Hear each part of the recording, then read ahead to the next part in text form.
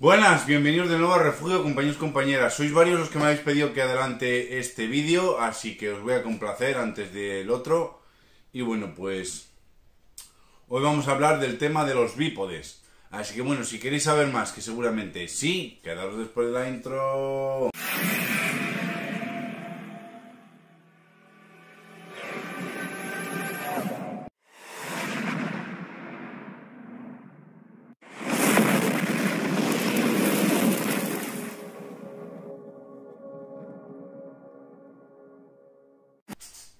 Como siempre, daros las gracias a los nuevos y a los antiguos suscriptores. Vosotros sois los que hacen que el canal crezca y yo cada día más contento. Decir que ya estamos ahí arañando esos 8000 y si ya se viene un sorteo.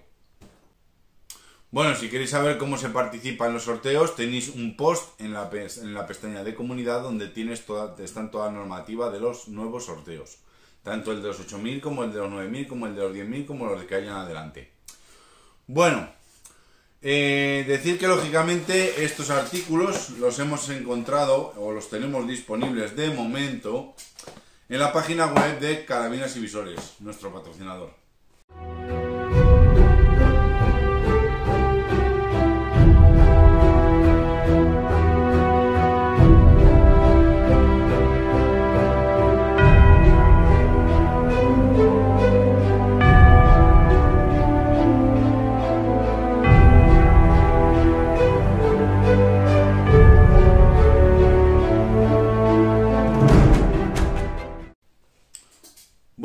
Decir a Juan que muchísimas gracias, como siempre, eh, gracias a él tenemos muchísimo abanico de posibilidades, tanto de disfrutar como de compartir, como de aprender.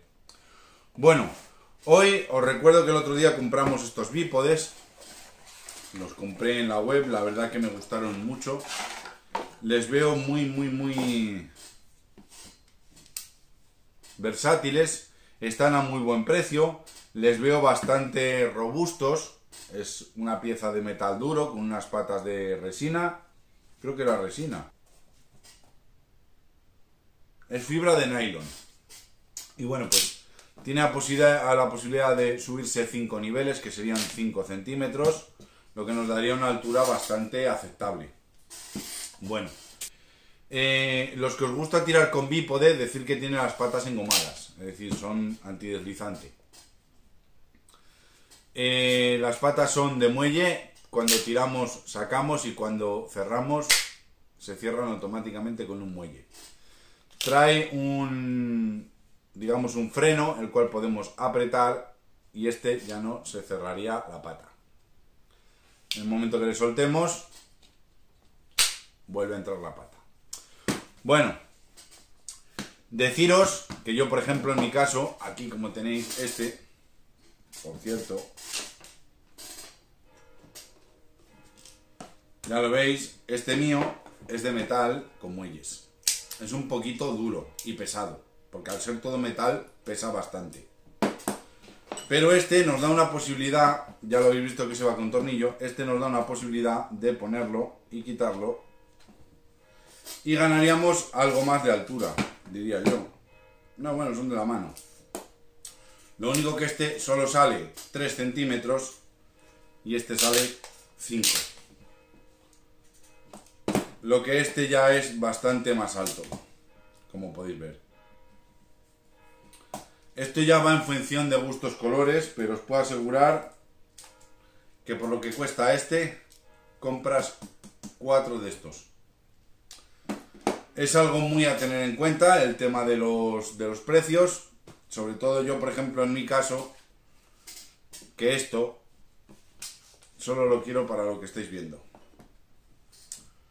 Para que el arma no se caiga, es decir, no tener que hacer esto.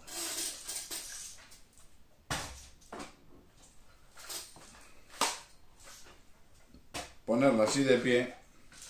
Os lo voy a poner aquí para que lo veáis. Y que no pase esto.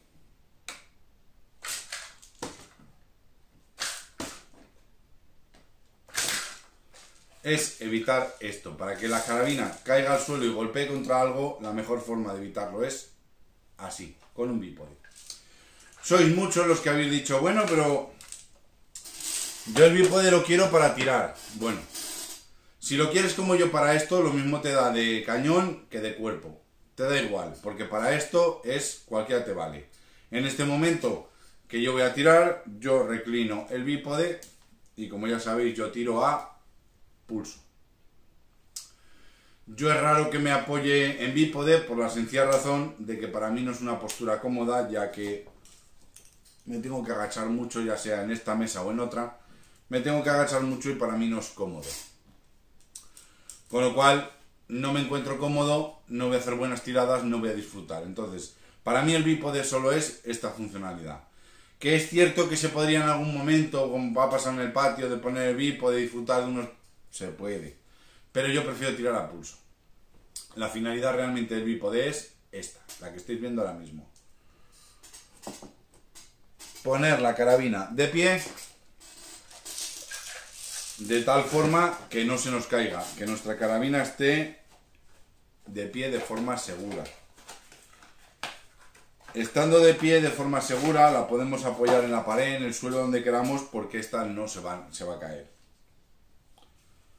Para que veáis que esto es muy, muy, muy sencillo. Ya veis lo que hemos tardado en ponerlo. Decir que son geniales, son cómodos, repito.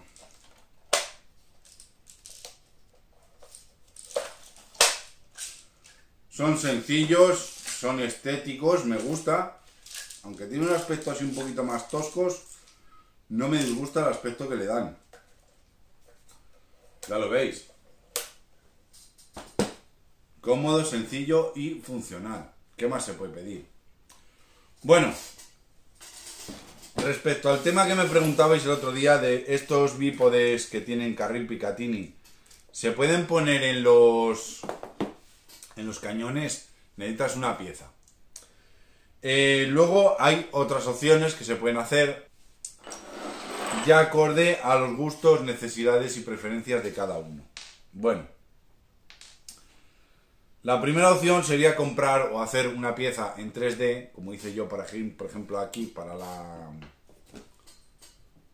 para la Model CP2, que por cierto la tenéis a un precio espectacular en carabinas y visores. Os dejo ahí la página web oficial, donde podéis ver esa y muchas más ofertas. Bueno, decir que yo me hice una pieza con la 3D, como podéis ver tiene varios carriles de 22 o Picatinny, el cual entra en el cañón, entrando en el cuerpo me quedaría un carril, o sea, para ponerlo en la parte de abajo.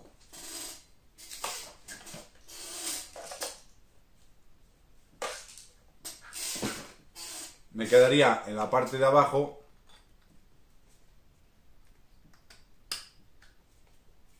para poner el bípode. Ya lo veis. Esta sería una posible opción. Luego, otra opción sería comprar este, el sistema, creo que se llama Leapers o Leapers o algo así se llama, en el que es una pieza que requiere de un tornillo, el cual podemos ver aquí.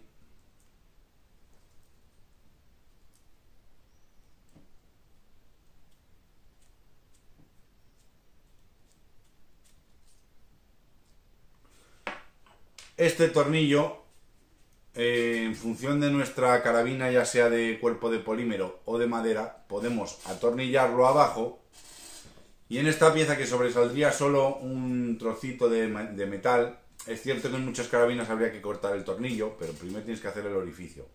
Una vez que lo has puesto, cortas el tornillo, arregla lo que necesitas. Y luego se quedaría solo esta pieza en la parte de fuera. En esta pieza tendríamos que poner esta otra, la cual encaja mediante un orificio y un tornillo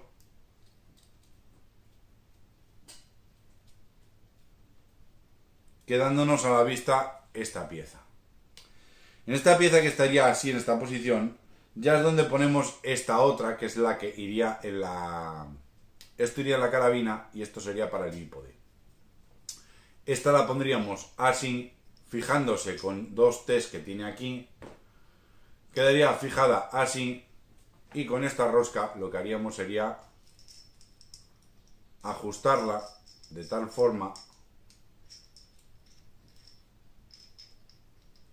A ver si me apaño.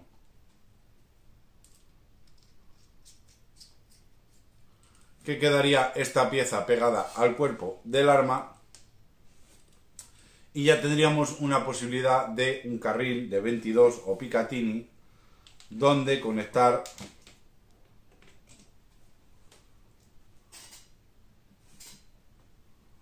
nuestro bipod.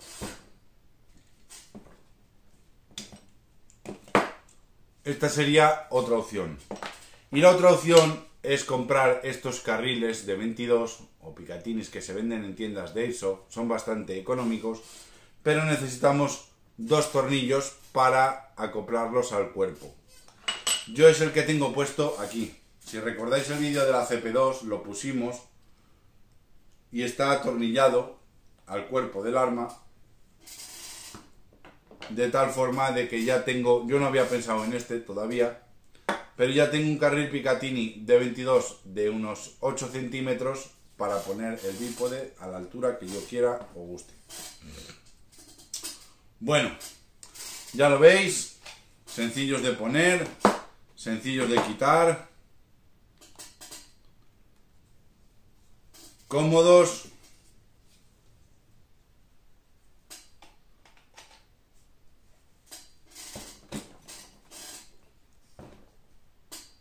¿Qué más se puede pedir? Ya lo veis, en un momento hemos cambiado... incluso el de aquí de la mira lo podríamos poner. Ya lo veis, en un momento hemos cambiado los bípodes. Y deciros que, bueno, pues como podéis ver, son geniales. Sencillos, prácticos, ligeros, resistentes fáciles de manejar, ya lo estáis viendo.